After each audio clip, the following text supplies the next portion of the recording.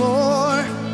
It's a shame I've got to live without you anymore.